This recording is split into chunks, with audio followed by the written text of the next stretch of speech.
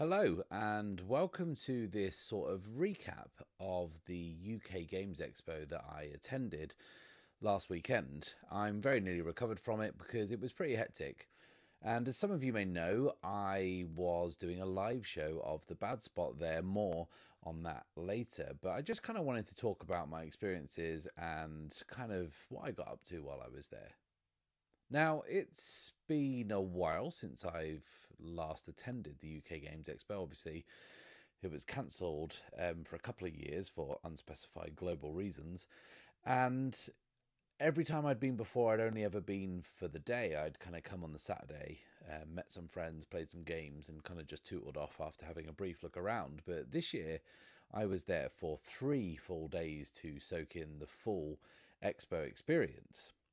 And my first impressions were that it was a lot busier than it has ever previously been. I think the last year I went, I believe they said there was maybe 25 or 30,000 people there over all three days, when this year it was just over 50,000. And it felt busy. It felt a lot more difficult to get onto demo tables. It felt like the queues for things were longer. And it also felt like the last year that it can really operate at this scale, it kind of has to expand a bit further. And it has expanded over the years. In 2016, I think it was still just a couple of rooms in a hotel, and now it's three main halls of the National Exhibition Centre and more besides. I went to some seminars, I went to some live performances, I went to see some podcasts being recorded, and I have to say, there was a huge variety of stuff on offer. I didn't really spend a great deal of time at any of the RPG events because I just kind of ran out of time to do stuff. I spent a lot of time kind of just meeting people, a lot of friends I hadn't seen in many years, and lots of different groups of friends that I hadn't seen for a while. That I just kind of got swept up in walking along and soaking up the atmosphere. And I think next time when I go, I will make a more concerted effort to seek out more stuff in the RPG sphere. It's just having not been for a while and being with a lot of friends who hadn't been ever before. It was really nice just to kind of just hang out and kind of play some games. We took a lot of games with us into the expo and we played a lot in the open gaming which was also so busy that at one point i think i counted 50 people sat on the floor because there was absolutely no tables in any of the three giant halls there was to play games in um, and yeah, just hang out and play games. We had an Airbnb not far from the venue where we could retreat every night. Um, it didn't actually have a table in it, so it made playing games difficult, but we improvised um, and kind of fashioned something. Uh, jury rigged a couple of coffee tables into something appropriate. So yeah, it was just nice to hang out and just see my friends and play games in an arena where it was kind of conducive for doing so. And that leads me to the show. Now, I mean, I'll put this out there right now. I think it went all right. I think people enjoyed it.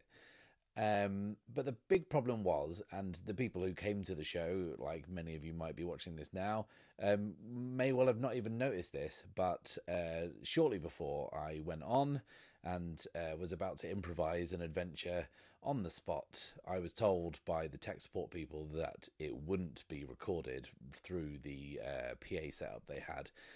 And I'd spent about a week conversing with my contact at, uh, or trying to converse with my contact at Expo, because I was kind of worried about this and worried that this might happen. So I was kind of trying to put some safeguards in place that it wouldn't, and kind of was assured that I wouldn't need to bring any of my own recording equipment.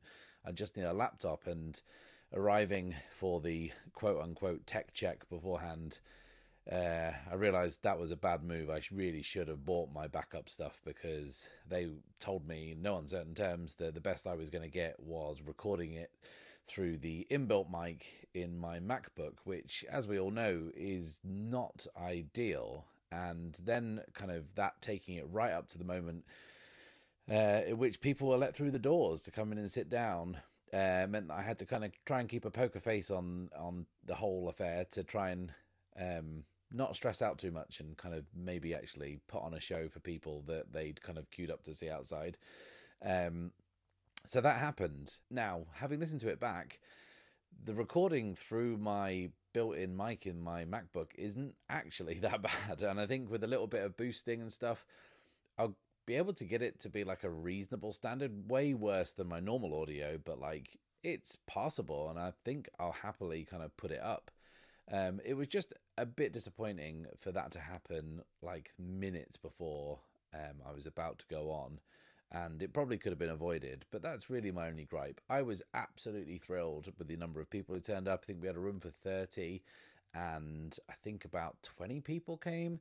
Um, and I'd been to a, a podcast the, the previous day and realized you only need about eight people to make it feel busy in there. So when that amount of people turned up, I was absolutely thrilled. And um, not all of them were just my friends, which was a good thing. It was a lot of strangers. Uh, a lot of you watching this might be in there. Sound off if you were in in in the room, because um, thank you very much for coming to support me. Now, the episode itself, I kind of knew this would happen. Like I've talked before about how the show is made. And I've talked before about how I like to spend time, I like to walk away from things, I like to try and figure out how to connect everything, make it make sense thematically and narratively, take time to enrich the characters.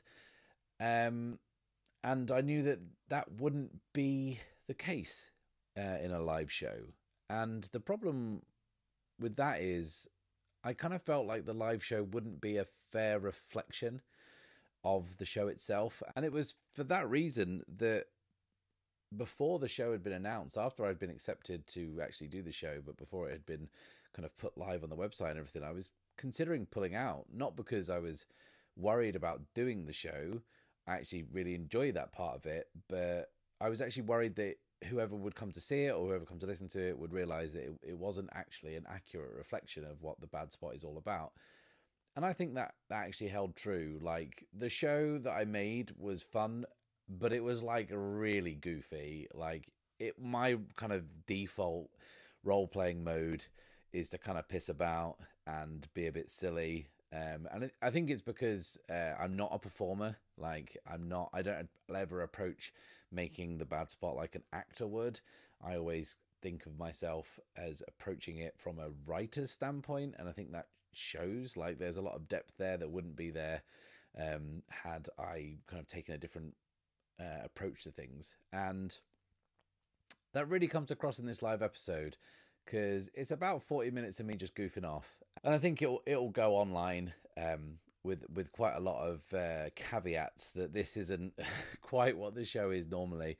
But that is not to say I didn't enjoy it. I absolutely did love doing it. Um, and I, I was really stoked when I saw that many people come through the doors.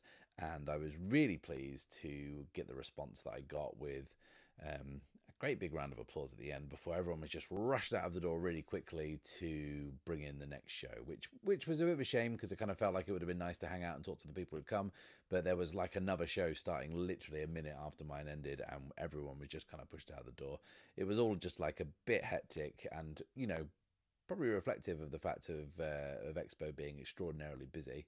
For the rest of Expo, yeah, just like a ton of games, uh, like a lot of bargains as well, a lot of like shopping around for stuff that I'd been trying to get hold of for a long time. I've got a copy of Final Girl, which I'm really looking forward to playing. It's a solo board game that's kind of based on 80s slasher movies, which like looks amazing and has got some really nice things said about it, and I can't wait to give that a go.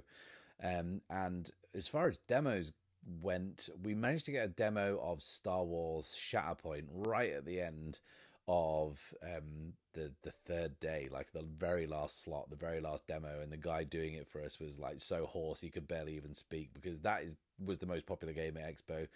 Um, people wanting to try out that. And uh, we all went into it and we were like we don't need another miniatures game to play. I've got too many miniatures games that like i just don't get on the table often enough. I don't need another one. And regrettably, it's really good, and now I really want to buy it, and um, I just can't quite justify it for now. Um, but yeah, it will be one that I kind of put in and out of my shopping basket every time I'm online. I'm pretty sure. Um, and also got to play uh, Blood on the Clock Tower, which is uh, slowly becoming my favorite game ever of anything. And trying to book on a game at Expo was yeah, an experience. Every single day sold out about five minutes after um, doors opened and we managed to finally get there first thing on Sunday morning to take the very last slots. Uh, I think six minutes past nine, sold out like hourly games all day, running run across like two tables. There must have been like a lot of people there trying to play Blood on the Clock Tower and had a blast. Had a blast. Got to shout at some strangers and accuse them of betraying me when I was wrong all along. So yeah, that was UK Game Expo 2023. I've already chalked 2024 in in my diary. Um, and I'm definitely going to go there again. Um, and do you think I should do the show again? I kind of would consider it, but maybe would consider doing something slightly different, maybe a co op game, maybe a different game. Who knows? So, yeah, I might do it again. Maybe. Anyway, thanks for watching. Like, subscribe, all that jazz. Find the Patreon. And I'll be back next week with, I think, second episode of season three. So you can stop having to enjoy me talking about stuff that isn't Starforged um, and get back into that next week. Okay, bye bye.